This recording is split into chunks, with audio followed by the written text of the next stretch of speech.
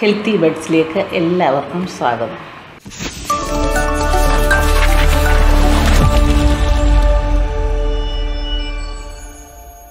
ഞാൻ ഡോക്ടർ കല. ഇന്ന് ഞാൻ നിങ്ങളുമായി ഷെയർ ചെയ്യുന്നത് നമ്മുടെ ലോകത്തിന്റെ നാനാഭാഗത്തുമുള്ള ഫോർട്ടി പ്ലസ് കഴിഞ്ഞ ലേഡീസിന് കോമൺ ആയിട്ട് അനുഭവപ്പെടുന്ന ഒരു നാച്ചുറൽ പ്രോസസ്സായ മെനപ്പോസിനെ കുറിച്ചാണ്. അപ്പം മെനപ്പോസ് ഏകദേശം എല്ലാവർക്കും അറിയാം എന്നാണെന്നും എങ്ങനെയാണെന്നും. അതായത് ഈ മെനപ്പോസ് പീരീഡിൽ ഒരുപാട് ചേഞ്ചസ് ആണ് ലേഡീസിനുണ്ടാകുന്നത് അത് അമ്പത് ശതമാനത്തിലധികം സ്ത്രീകൾക്കും ആ ചേഞ്ചസ് ഉണ്ടാകുന്നുണ്ട്. അപ്പോൾ അത് ശരിക്കും ഫോർട്ടി പ്ലസ് കഴിയുമ്പോഴേ അത് സ്റ്റാർട്ട് ചെയ്ത് തുടങ്ങും. ആവറേജ് മെനപ്പോസ് ഒരു ഏജ് പറയുന്നത് ഇന്ത്യൻ ഗ്രൂപ്പിൽ ഫിഫ്റ്റി വൺ ആണ്. അതുപോലെ ഇത് ഫോർട്ടി ഫൈവ് ടു ഫിഫ്റ്റി ആകാം. ഇപ്പോൾ കുറച്ചും കൂടി ലേറ്റായിട്ട് ആൾക്കാർക്ക് വരുന്നുണ്ട്. അതായത് ഫിഫ്റ്റി ടു ഫിഫ്റ്റി ഫൈവിലേക്ക് ആ കണക്ക് നീങ്ങുന്നുണ്ട്. ഇപ്പോഴത്തെ ഈ ലൈഫ് സ്റ്റൈലും കാര്യങ്ങളും ഒക്കെ വെച്ചുകൊണ്ട് ഈ മെനപ്പോസ് സമയത്ത് നല്ല ശാന്തശീലരായിരിക്കുന്ന സ്ത്രീകൾ പോലും ഈ ഹോർമോണൽ ചേഞ്ച് കൊണ്ട് അവരുടെ ബിഹേവിയറിൽ ഫിസിക്കൽ ആൻഡ് മെന്റൽ ചേഞ്ചസ് ഉണ്ടായിട്ട് ഒരുപാട് മാറ്റങ്ങൾ സംഭവിക്കുന്നുണ്ട്. അപ്പം മിക്കവാറും ഫോർട്ടി പ്ലസ് കഴിയുമ്പോഴത്തേക്കിന് ഇത്തരം മാറ്റങ്ങൾ കണ്ടു തുടങ്ങും. അപ്പോൾ അത് ശരിക്കും പറഞ്ഞു കഴിഞ്ഞാൽ സ്വർഗതുല്യമായിരിക്കുന്ന നമ്മുടെ വീടിന്റെ അന്തരീക്ഷം ഈ ഇത്തരം പ്രശ്നങ്ങൾ കൊണ്ട് ചെറിയ മുറുമുറുക്കലും വിഷമവും വഴക്കും ഒക്കെ കൊണ്ട് വളരെ പ്രശ്നങ്ങൾ ഉണ്ടാക്കാറുണ്ട്. അപ്പോൾ ഇത് ഇതിന്റെ പീക്ക് ലെവലെത്തുമ്പം വിവാഹമോചനത്തിലെത്തി നിൽക്കുന്ന അവസ്ഥ വരെ ഉണ്ടാകുന്നുണ്ട്. കുറേയൊക്കെ ഉള്ളവർ ഒതുക്കും കുറേയൊക്കെ പുറത്തു പോകും. ചില പ്രശ്നങ്ങളൊക്കെ അങ്ങനെയാണ് ഉണ്ടാകുന്നത്. അപ്പോൾ ഈ മെനപ്പോസ് സമയത്ത് ഈ ഹോർമോണൽ ചേഞ്ചസ് കൊണ്ടുണ്ടാകുന്ന ഇത്തരം പ്രശ്നങ്ങൾ നമ്മൾ എല്ലാവരും മനസ്സിലാക്കി എന്തൊക്കെ ചെയ്യണം നമുക്കതിന് വീട്ടിലെ നാച്ചുറൽ ഫുഡിലൂടെ എന്തൊക്കെ എങ്ങനെ കറക്റ്റ് ചെയ്യാൻ പറ്റും ഈ ഹോർമോൺ ഇംബാലൻസ് എന്നും ഇതിനൊക്കെ വേണ്ടി ശ്രദ്ധിക്കേണ്ട കാര്യങ്ങൾ എന്തൊക്കെയാണെന്നും അതായത് ഈ മെനപ്പോസ് ടൈമിൽ നമുക്ക് റിലാക്സേഷൻ കിട്ടാൻ ശ്രദ്ധിക്കേണ്ട കാര്യങ്ങൾ എന്താണെന്നും നമുക്ക് ഇന്ന് നോക്കാം. നിങ്ങൾക്ക് എല്ലാവർക്കും അറിയാം പെൺകുട്ടികളിൽ മെനാർക്കെ സ്റ്റാർട്ട് ചെയ്യുന്നത് ടെൻ ടു ഫിഫ്റ്റീൻ ആ ഏജിനുള്ളിലാണ് ആദ്യമായിട്ട് പീരീഡ്സ് വരികയും അവരത് റെഗുലറായിട്ട് കുറച്ച് കഴിയുമ്പോൾ അത് കറക്റ്റായിട്ട് വന്നുകൊണ്ടിരിക്കുകയും ചെയ്യും. ഇതിനെ നിയന്ത്രിക്കുന്നത് നമ്മുടെ ഓവറിയിലുള്ള ഈസ്ട്രജൻ ഹോർമോണാണ്. അത് ഓരോ മാസവും രണ്ടാം വീതം പ്രൊഡ്യൂസ് ചെയ്യും പീരീഡ്സ് വരും പിന്നെയും വീണ്ടും ഇതേപോലെ ഈ പ്രോസസ്സ് നടന്നുകൊണ്ടിരിക്കും. ഇത് ഏജ് മുന്നോട്ട് പോകുന്നതനുസരിച്ച് ഈ ഗ്രാഫ് മുകളിലേക്ക് പോവുകയും ഏജ് പിന്നെ നന്നായിട്ട് തേർട്ടി പ്ലസ് കഴിയുമ്പോൾ അതിന്റെ ഒരു എന്താണ് ഏജിങ്ങിന്റെ ഭാഗമായി പതുക്കെ പതുക്കെ റിപ്രൊഡക്റ്റീവ് സിസ്റ്റവും പതുക്കെ അതിന്റെ വീക്ക്നെസ് കാണിച്ചു തുടങ്ങുകയും ചെയ്യും. അതായത് ഫോർട്ടി പ്ലസ് കഴിയുമ്പോഴത്തേക്കിനും കറക്റ്റായിട്ട് ഈ ഓവുലേഷൻ വരാതിരിക്കുകയും അതായത് ഈസ്ട്രജൻ ഹോർമോൺ കുറയുന്നത് മൂലം അപ്പോൾ പീരീഡ്സിൽ ഇറഗുലാരിറ്റി വന്നു തുടങ്ങുകയും ചെയ്യും. അപ്പോൾ നമ്മൾ ഈ മെനപ്പോസ് ശരിക്കും സ്റ്റാർട്ട് ചെയ്യുന്നത് ഫോർട്ടി പ്ലസ് കഴിയുമ്പോഴാണ്. ഫോർട്ടി പ്ലസ് കഴിയുമ്പോൾ ഈ ഹോർമോണൽ ചേഞ്ചസ് വന്നു തുടങ്ങും. അതായത് ഈസ്ട്രജൻ ഹോർമോണിന്റെ ലെവൽ മെയിനായിട്ടും അത് കുറഞ്ഞു വരും. ഓവുലേഷൻ കറക്റ്റായിട്ട് നടക്കാതെയും വരും. അപ്പോൾ പീരീഡ്സ് ഇറഗുലർ ആവും. അപ്പോൾ അത് രണ്ട് മാസം കൂടുമ്പോഴോ മൂന്ന് മാസം കൂടുമ്പോഴോ വന്നെന്നെല്ലാവും. ഇല്ല എങ്കിൽ വല്ല കടുത്ത ബ്ലീഡിങ് ആയിരിക്കും അപ്പോൾ വരുന്നത്. കുറേ ദിവസങ്ങൾ ലാസ്റ്റ് ചെയ്യും. അങ്ങനെ കുറേ ചേഞ്ചസ് ആണ് ഇതിനകത്ത് വരുന്നത്. ചിലപ്പം രണ്ട് മൂന്ന് മാസം വരാതിരുന്ന ശേഷം വീണ്ടും വരും. അപ്പോൾ ചെറിയ ബ്ലീഡിങ് കാണും ഇല്ലേ? കൂടുതൽ കാണും. എക്സസീവ് ബ്ലീഡിങ് കാണും. അപ്പോൾ ഇത്തരം ഇറഗുലാരിറ്റീസിലൂടെയാണ് ഈ മെനക്കോസിലേക്ക് ചിലർക്ക് പിന്നെ വലിയ സിംറ്റംസ് ഒന്നും കാണാതെ തന്നെ ഇത് അറ്റൈൻ ചെയ്ത് അവരങ്ങ് കടന്നു പോകും ഇങ്ങനെ ഇറഗുലാരിറ്റീസ് വന്ന ശേഷം ആറു മാസം മുതൽ ഒരു വർഷം വരെ കണ്ടിന്യൂസ് ആയിട്ട് പീരീഡ്സ് വരാതിരിക്കുക മറ്റ് പ്രശ്നങ്ങളൊന്നും ഇല്ലാതിരിക്കുകയും ചെയ്യുമ്പോഴാണ് നമ്മൾ അതിനെ മെനപ്പോസ് ആയി കഴിഞ്ഞു എന്ന് തീരുമാനിക്കുന്നത്.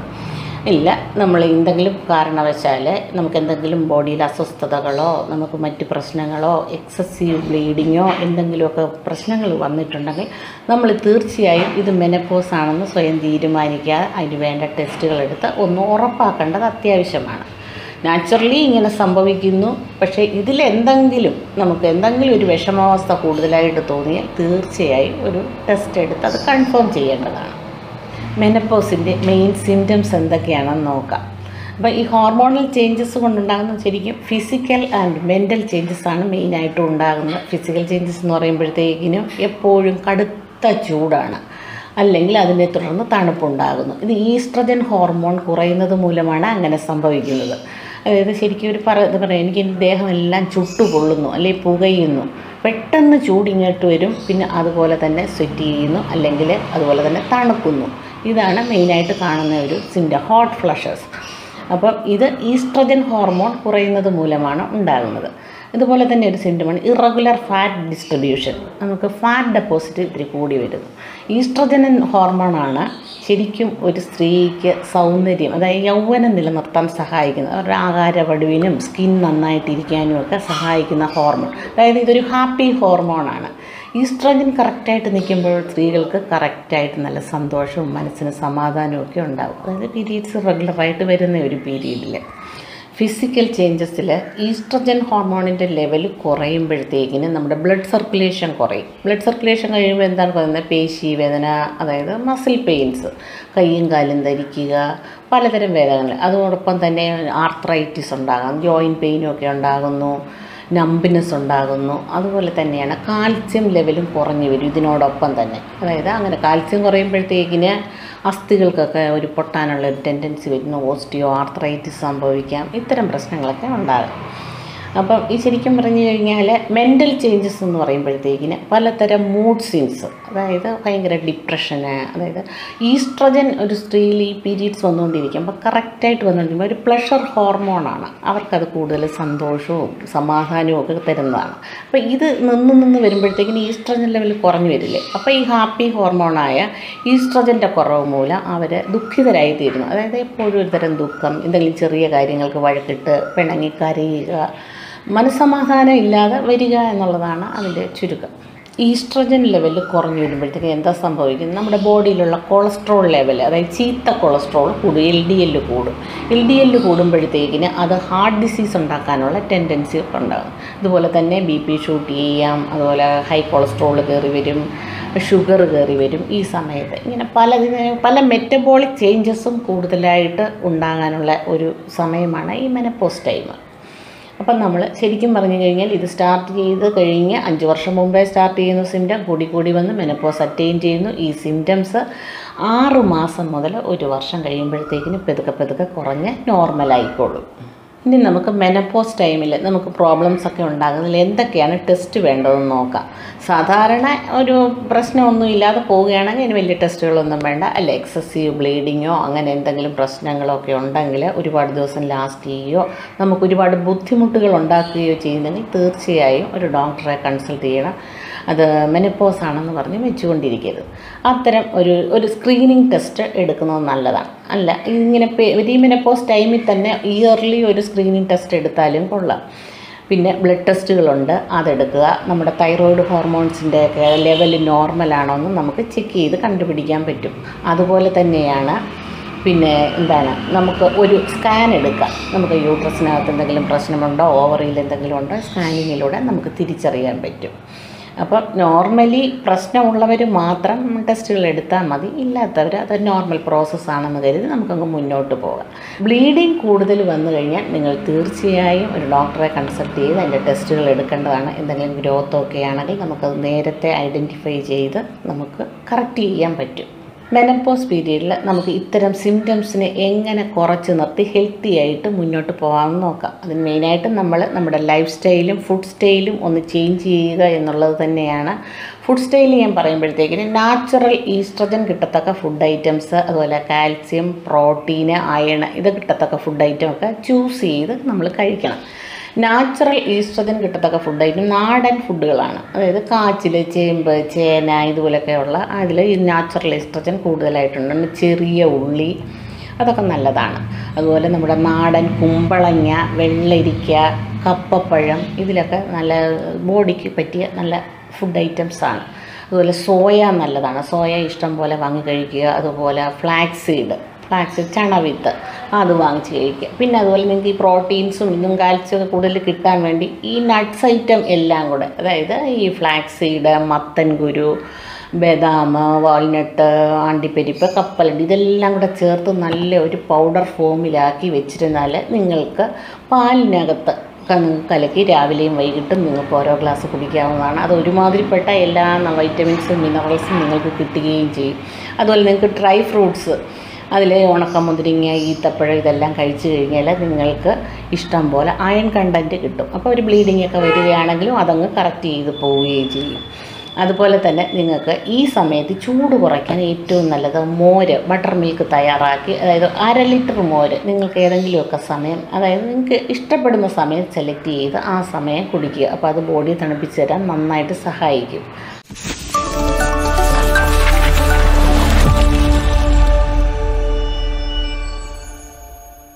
അതുപോലെ മൊനപ്പോസ് ടൈമിൽ നിങ്ങൾക്ക് പ്രോട്ടീൻ കൂടുതൽ കിട്ടാം. പയറുവർഗങ്ങളെല്ലാം നിങ്ങൾക്ക് ചൂസ് ചെയ്ത് കഴിക്കാവുന്നതാണ്. എല്ലാ പയറുവർഗങ്ങളും നിങ്ങൾക്ക് കുറേശ്ശെ വീതം ഡെയിലി ഓരോന്ന് ചേഞ്ച് ചെയ്ത് എടുക്കുക അത് നല്ലതാണ്.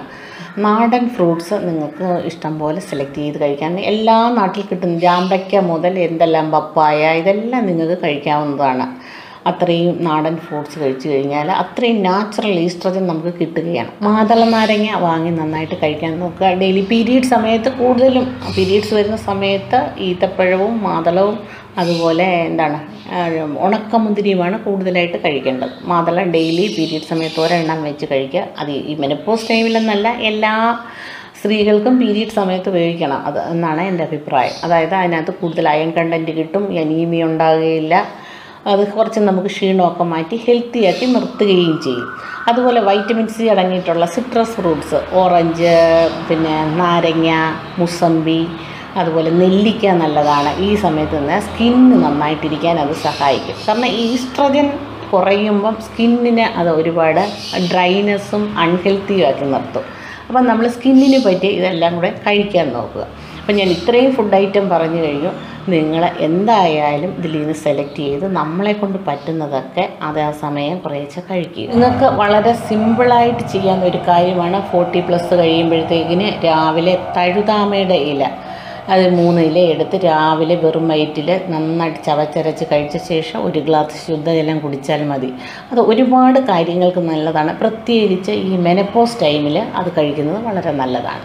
ഈ മെനപ്പോസ് സമയത്ത് ഇത്തരം ഹോർമോണൽ പ്രശ്നങ്ങളെല്ലാം കറക്റ്റ് ചെയ്യാനും നമുക്ക് സന്തോഷം ഉണ്ടാകാനും വേണ്ടി നമുക്ക് ഒരു നെല്ലിക്കയും ചെറുതേനും ചേർത്ത് ഒരു വൈൻ ഉണ്ടാക്കി വയ്ക്കാം ഡെയിലി ഒരു ടെൻ എം എൽ വെച്ച് ഡെയിലി കഴിച്ചാൽ മതി. നമുക്ക് ഇത്തരം പ്രശ്നങ്ങളെല്ലാം വളരെ മാറി വളരെ മനസ്സിന് സമാധാനവും സന്തോഷവും ഒക്കെ കിട്ടും അത് കഴിച്ചാൽ. ബ്രഹ്മിക്ക് സമാനമാണത്. ചെറുതേനും നെല്ലിക്കയും ഉപയോഗിച്ച് ഇതെങ്ങനെ തയ്യാറാക്കാമെന്ന് അടുത്ത വീഡിയോയിൽ ഞാൻ വിശദമായിട്ട് നിങ്ങൾക്ക് കാണിച്ചു തരാം. അത് നമ്മൾ കുറച്ച് വീട്ടിലുണ്ടാക്കി വെക്കുക നമുക്കിത് ഉപയോഗിക്കാം തീരുമ്പം വീണ്ടും. അതായത് നമ്മൾ ഫോർട്ടി പ്ലസ് കഴിയുമ്പോഴേ ഇത് തയ്യാറാക്കി വെക്കണം. ഇതിന് വലിയ ഭയങ്കര ഭീമമായ ചിലവുകളൊന്നുമില്ല. നിങ്ങൾക്കറിയാം ചെറുതേനും നെല്ലിക്കയും മാത്രം മതി നമുക്കത് ഉണ്ടാക്കിയെടുക്കാൻ. മെനപ്പോസ് ടൈമിൽ നമുക്ക് അത്യാവശ്യം വേണ്ടതാണ് യോഗ ആൻഡ് മെഡിറ്റേഷൻ നമുക്കൊരു ധ്യാനം എന്തുകൊണ്ടും നല്ലതാണ്. പറ്റുമെങ്കിൽ യോഗ മുറകളൊക്കെ ശീലമാക്കുക. അതുപോലെ തന്നെ എക്സസൈസ് ചെയ്യുന്ന കാര്യത്തിൽ ഒരു മടി അപ്പോൾ ഈ ഫാറ്റ് ഡിസ് ഡിസ്ട്രിബ്യൂഷനൊക്കെ കറക്റ്റായിട്ടിരിക്കും അതായത് എക്സസീവ് ഫാറ്റൊന്നും അക്യുമുലേറ്റ് ചെയ്യുകയില്ല. അപ്പം നമ്മളെ കൊണ്ട് പറ്റുന്ന എക്സസൈസ് അതായത് വോക്കിംഗ് എങ്കിൽ അങ്ങനെ അല്ല ഡാൻസിങ് എങ്കിൽ അങ്ങനെ എന്താണ് നമ്മളെ കൊണ്ട് സാധിക്കുന്നത്? അതൊക്കെ ചെയ്യാൻ നോക്കുക. അപ്പം അതൊരു ചെറിയ പാട്ടൊക്കെ ഇട്ട് റൂമിനകത്ത് ചെറിയ ഡാൻസൊക്കെ ചെയ്യുന്നത് കൊണ്ട് ഒരു പ്രശ്നവുമില്ല. ഇന്നത്തെ കാലത്ത് അതിനൊന്നും ആരും കുറ്റം പറയുകയില്ല. പിന്നെ നമുക്ക് ചെയ്യാം ഹോബീസ് നമുക്ക് എന്തൊക്കെയാണോ ചുമ്മാതിരിക്കാതെ എന്തിലെങ്കിലുമൊക്കെ സന്തോഷം കിട്ടുന്ന കാര്യങ്ങളിൽ ഏർപ്പെടുക. അത് നമുക്ക് ചെടി നടുന്നതിലാണ് അല്ല പച്ചക്കറി കൃഷിയാണെങ്കിൽ അങ്ങനെ പെറ്റ്സിനെ വളർത്തുന്നതാണെങ്കിൽ അങ്ങനെ. അതുപോലെ എന്തെങ്കിലും മ്യൂസിക്കൽ ഇൻസ്ട്രുമെന്റ്സ് ഉപയോഗിക്കുകയോ പഠിക്കാൻ പോവുകയോ അല്ല ഡാൻസ് പഠിക്കാൻ പോവുകയോ എന്താണോ നിങ്ങൾക്ക് നിങ്ങളുടെ ജീവിത സാഹചര്യം അനുസരിച്ച് ചെയ്യാൻ പറ്റുന്നത് അത് ചൂസ് ചെയ്ത് ചെയ്യുക. അത് നിങ്ങൾക്ക് ഒരുപാട് റിലാക്സേഷൻ തരുന്നതാണ്. വളരെ ശ്രദ്ധിക്കേണ്ട ഒരു കാര്യമുണ്ട്. നമ്മൾ ഫുഡ് കഴിക്കുമ്പോൾ കൂടുതൽ ഉപ്പ് മധുരം എരിവ് ഫോർട്ടി പ്ലസ് കഴിയുമ്പോൾ കറക്റ്റായിട്ടും അത് വേണ്ട പാകത്തിന് മാത്രം ഉപയോഗിക്കുക. അധികം എടുക്കാതിരിക്കുക. പറ്റുമെങ്കിൽ കുറച്ചെടുക്കാൻ നോക്കുക. അതുപോലെ തന്നെയാണ് ഓയിലിന്റെ ഉപയോഗം അതും കുറച്ചെടുക്കുക. ഡെയിലി ഒരു ടെൻ എം എൽ എന്നുള്ള കണക്കിൽ മാത്രം ഓയിലെടുക്കാൻ നോക്കുക. ഒലിവ് ഓയിലാണെങ്കിൽ നമുക്ക് ട്വന്റി എം എൽ എടുക്കാൻ പറ്റും. അതും കുറച്ച് നിർത്താൻ നോക്കുക. അപ്പം നമുക്ക് മൊത്തത്തിൽ നമ്മുടെ ഹെൽത്ത് നന്നായിരിക്കും. മെനപ്പോസ് ടൈമിൽ നമ്മൾ മറ്റ് കാര്യങ്ങൾ ശ്രദ്ധിക്കുന്നത്. അതായത് ഫുഡും ലൈഫ് സ്റ്റൈലും ശ്രദ്ധിക്കുന്നതിന് തുല്യമാണ് നമുക്ക് അവയർനെസ് അതായത് നമ്മൾ ലേഡീസും മനസ്സിലാക്കണം വീട്ടിലുള്ളവരും മനസ്സിലാക്കണം. വീട്ടിലുള്ളവരെ എപ്പോഴും കുറ്റം പറയും. അതായത് അവർ അവർക്കത് മനസ്സിലാക്കാനുള്ള കഴിവ് കാണുകയില്ല. അവർ ചിന്തിക്കുന്നില്ല. അമ്മ ഇതിനു മുമ്പ് വരെ നന്നായിട്ടിരുന്നു അല്ലെ? ഭാര്യ നന്നായിട്ടിരുന്നു അല്ലെ? സിസ്റ്റർ നന്നായിട്ടിരുന്നു. ഇപ്പം എന്താണ് ഇങ്ങനെ? അത് നമ്മൾ ചിന്തിക്കേണ്ട കാര്യം തന്നെ. ഫോർട്ടി പ്ലസ് കഴിഞ്ഞപ്പോൾ പതുക്കെ പതുക്കെ മാറ്റം വന്നു തുടങ്ങി.